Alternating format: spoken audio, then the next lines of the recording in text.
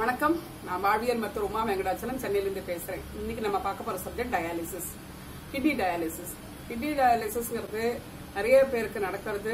வாரம் ரெண்டு தினம் மூணு தினம் பண்ணிக்கிறாங்க. சில பேர் வீட்லயே கிட்டு வச்சு பண்ணிக்கிறாங்க சில பேர் ஹாஸ்பிட்டல்ல போய் பண்ணிக்கிறாங்க. இது எதனால நடக்கிறது அப்படிங்கறத பாக்குறோம் அப்படின்னாக்க கிட்னியோட வேலை என்னங்கிறது முதல்ல தெரிஞ்சுப்போம். கிட்னியோட வேலை வந்து உடம்புல ரத்தத்தில் இருக்கிற அனாவசியமாக இருக்கக்கூடிய தாது உப்புகளை வெளியேற்றுதல். நீரில் இருக்கிற நீர்த்தன்மை தான் ரத்தம் அது போல இருக்கிற நீர்த்தன்மை உள்ளவற்றில் உள்ள கழிவுகள் தேவையற்ற டாக்ஸின்ஸை வெளியேற்றுதல். ரத்தத்தை சுத்தப்படுத்துதல். இந்த வேலை தான் அது பண்றது. இதை பண்ற போது உடம்புல அதை பண்றதுக்கு கிளாமரல் ஸ்ட்ரக்சர் அப்படின்னு கிட்னியோட அமைப்புல இருக்கு. தலைமுடியை நீட்டு வாக்குல ஆயிரமாக பிளந்தால் அதுல ஒரு பகுதி எவ்வளவு இருக்குமோ அவ்வளோ மை நுண்ணிய உறுப்பு உள்ளதா உண்ணிய பாகம் உள்ளதா இருக்கு கிட்னி. அந்த கிளாமரல் ஸ்ட்ரக்சர் அப்படி இருக்கு. அது ஒன்றும் இல்லை ஃபில்டர் கெட்டி வடிகட்டி அதெல்லாம் மாதிரி வடிகட்டி. அந்த வடிகட்டியில் உடம்புல எவ்வளோ மெக்னீஷியம் இருக்குமோ அதை வச்சுட்டு பாக்கி வெளியே அனுப்பும். பொட்டாசியம் மெக்னீஷியம் அப்போ இது புரோட்டீன் அப்புறம் வந்து ரத்தத்தில் இருக்க நீரின் தன்மை இது போல விஷயங்கள்லாம் எவ்வளோ உடம்புக்கு வேணுமோ அதை வச்சுட்டு தேவையற்றதை மட்டுமே வெளியேற்றக்கூடிய விஷயமா அது இருக்கு. அவ்வளோ அந்த ஃபில்ட்ரேஷன் இவ்வளோ இருக்கா அப்படின்னு மானிட்டர் பண்ணிட்டு தேவையற்றதை வெளியேற்று. எவ்வளோ அழகான விஷயம் பாருங்க.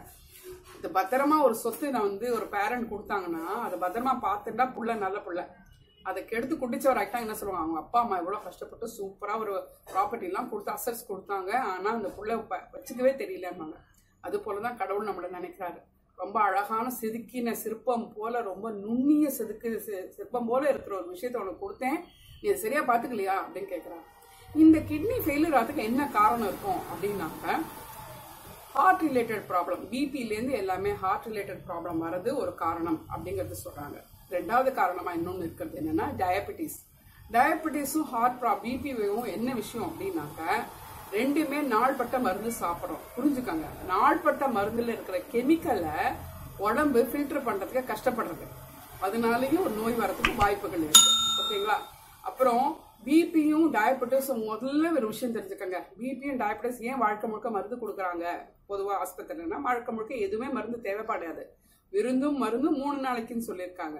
மூணு நாள் எல்லாம் மூணு மாதம் வச்சுக்கலாம். வாழ்க்கை முழுக்க எந்த மருந்தும் தேவைப்படாது. ஆனால் அப்படி இருக்குங்கிறது என்னத்துக்குனால காரணம் அப்படின்னாக்க நம்ம வாழ்க்கை இயல்புலேருந்து நம்ம மாறி போயிட்டோம். என்னோட இயல்புக்கு என்ன உண்டோ அந்த வேலையை தான் நான் செய்யணும். உலகத்தில் எல்லாரும் என்ன சொன்னாங்களோ அந்த இயல்பை என்னால் செய்ய முடியாது அப்படிங்கிறத நம்ம புரிஞ்சுக்கணும். ஒரு ஒரு குழந்தைக்கும் ஒரு தனித்தன்மை இருக்கும். ஒரு ஒரு நபருக்கும் ஒரு தனித்தன்மை இருக்கும். அதை நோக்கி நம்ம பயணப்பட்டா ரொம்ப நல்லா இருக்கும்.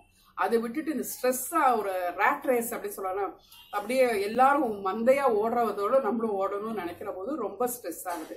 எல்லாரும் வேற யாரோ ஏதோ பொருட்கள் வாங்கினா நம்மளும் வாங்கிக்கணும்னு நினைக்கிறது நமக்கு தேவையா இல்லையா அப்படிங்கிறது இல்லாம நம்ம வாங்கி வைக்கணும்னு நினைக்கிறது ரொம்ப தவறான ஒரு செயலா இருக்கு. இது போல இருக்கிற வாழ்க்கையை விட மிக அதிக லெவல்ல வாழ்க்கையை அதாவது பல சில வருடங்களுக்கு கழிச்சு நடக்க வேண்டிய வாழ்க்கையை இன்னைக்கே வேணும்னு நினைக்கக்கூடிய குணம் எழுந்திருக்கு அதுதான் ஸ்ட்ரெஸ் கொடுக்கறது. கொஞ்சம் கொஞ்சமா நிதானமா வளர்ச்சி அப்படிங்கிறது அழகான வள வளர்ச்சியா இருக்கும். எப்பவுமே பிபியும் டயபிட்டிஸ் வந்தா முக்கியமான ஒரு விஷயம் புரிஞ்சுக்கோங்க. உடனடியா புரிஞ்சுக்கோங்க. யாருக்கு உங்க குடும்பத்துல வந்தாலும் உங்களை சுத்தி வந்தாலும் உங்களுக்கே வந்தாலும் வாழ்க்கை உங்க உடல் உங்களுக்கு சொல்லுது நீ வாழ்க்கை வாழும் வாழ்க்கை முறை தவறு மாத்திக்கோ அப்படின்னு சொல்ற அலாம் தான் இது.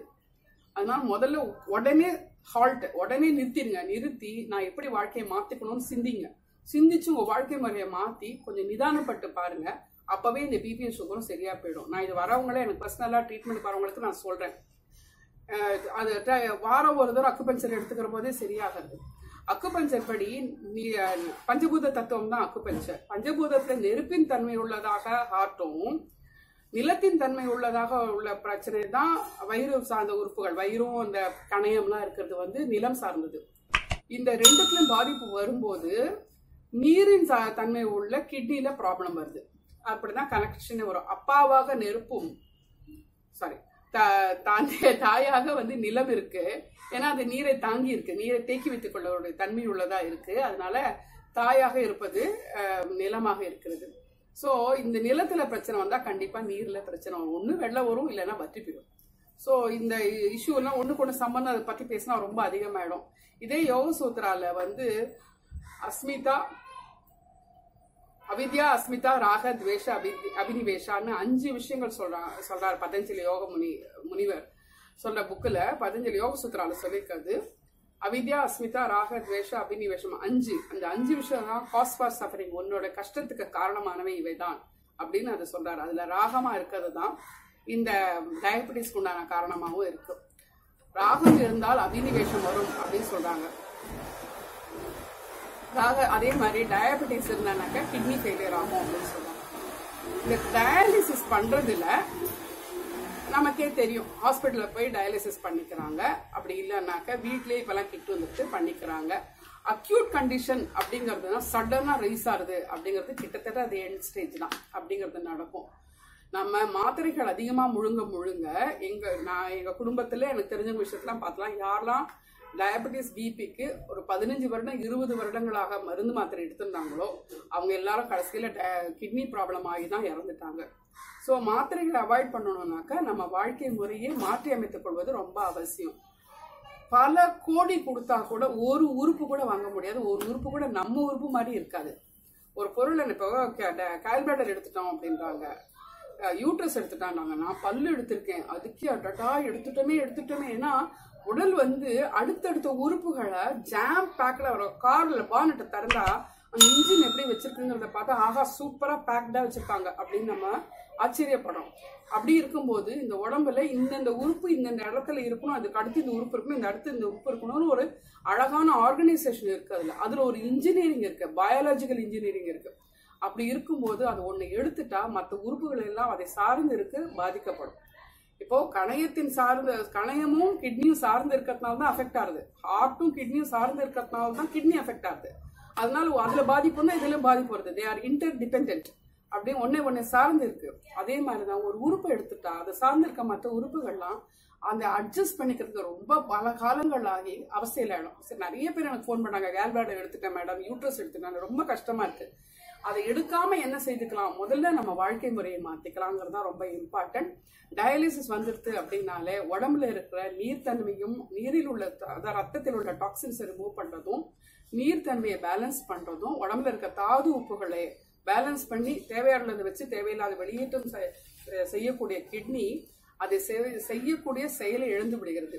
அந்த செயலை இழந்து விடுறதுக்கு காரணம் என்னன்னா அதிகப்படியான ஸ்ட்ரெஸ் அதிகப்படியான ஸ்ட்ரெஸ் இருக்கிறது அப்படிங்கிறது எப்படி அறிகுறி காட்டுறது அப்படின்னா ஹார்ட் ப்ராப்ளமும் டயபெட்டிஸ் ப்ராப்ளமே காட்டுது. அது ரெண்டும் வரக்கூடிய அறிகுறி வந்த உடனே நம்ம வாழ்க்கை முறையை மாத்திக்கணும். ஒரு சின்ன விஷயம் செய்யுங்க உங்க வாழ்க்கையை மாத்திக்கிறதுக்கு. என்ன ஆனாலும் சரி கடிச்சாதான் நான் முழுங்குவேன் நல்லா கடிச்சு பல்லு வாயில தானே இருக்கு. கடவுள் வச்சிருக்காரு. வயிற்றுல அழைச்சிருக்காரு நம்ம இங்கதான் மெல்லணும். நல்லா மென்று அது சாறு போல ஆன அப்புறம் தான் முழுகணும்னு வச்சுக்கோங்க. நிர்மலா ராஜவேல் அப்படிங்கிறவங்களோட வீடியோ நான் எடுத்தேன் இப்போ சமீபத்தில். ட்ரீட்மெண்ட் வந்தபோது டயபெட்டிஸ்க்கு வந்து அவங்க பூரணமாக குணமாயிட்டாங்க. அக்குபெக்சருக்கு வந்தாங்க. அவங்களுக்கு வாழ்க்கையை மாற்றிக்கிறதுக்கு சில டிப்ஸ் சொன்னேன். செய்துட்டு வராங்க. அதில் முக்கியமான ஒன்று கடிச்சாதான் முழுகணும்னு சொன்னேன். அவங்க சொல்றாங்க கல்யாணத்துக்கெல்லாம் போனா முதல் பந்தியில் உட்காந்தா கடைசி பந்தியில் எழுந்துக்கிற அளவுக்கு நான் ஸ்லோவாக சாப்பிட்றேன். இப்போ அப்படிதான் பழகிடுத்து சுகரும் ஏறாம இருக்கு நான் ஆரோக்கியமா உணர்றேன் அப்படிங்கறத சொல்றாங்க. நிறைய விஷயத்துல இப்ப நானும் அதை பழகியிருக்கேன். அது கடிச்சாதான் முழுங்கினா உடம்பு வெயிட் போடாது. ஏன்னா இதுல இங்க கடிக்கும் போது என்ன பொருள் வருதுன்னு உள்ள இருக்க உறுப்பு புரிஞ்சுது. அதுக்கு தகுந்த அளவுக்கு என்சைம்ஸ் செக்ரேட் ஆகும். கணையத்திலேருந்து வர இன்சுலினும் அந்த மாதிரி தான் செக்ரேட் ஆகுது. பயில் எவ்வளவு தூரம் ஜாயின் பண்ணணுங்கிறதெல்லாம் இங்கே கடிக்கிறத வச்சு ரிஃப்ளெக்ஸ் சிஸ்டம் ஸோ கடிக்கிறது நம்மளோட பொறுப்பு. அது அப்படியே முழுங்கக்கூடாது. ஒரு வாழைப்பழமா இருந்தால் கூட ஒரு கஞ்சியா இருந்தா கூட சின்ன அளவில் துகள் போல இருந்தாலும் கடிச்ச அப்புறம் முழுங்குறத வச்சுக்கோங்க. டயபிட்டிஸ் வராமல் இருக்கும். ஒன்று அந்த கடிக்கிறதுக்கு பொறுமை இருக்கு இல்லையா? அந்த பொறுமையை நம்மளோட பிபி இல்லாமல் பாதுகாத்துரும். ரெண்டுத்துலேருந்து நீங்கள் வெளியில் வரலாம். டயாலிசிஸ் இல்லாமல் வாழலாம். மீண்டும் ஒருமுறை வேற ஒரு குறிப்போடு உங்களை சந்திக்கும் வரை வணக்கம் கூறி விடைபெறுவது வாழ்வியல் மருத்துவர் உமா வெங்கடாச்சலம். நம்ம யோகம் யூடியூப் சேனல்லையும் உமா வெங்கடாச்சலம் ஷேர்ஸ் ரெண்டுத்தையும் சப்ஸ்கிரைப் பண்ணி வச்சுக்கோங்க. உங்களுக்கு உகந்த நிறைய டிப்ஸை நாங்களும் உங்களுக்காக கொடுக்கணும்னு ஆசைப்பட்டு கொடுத்துட்டு இருக்கோம்.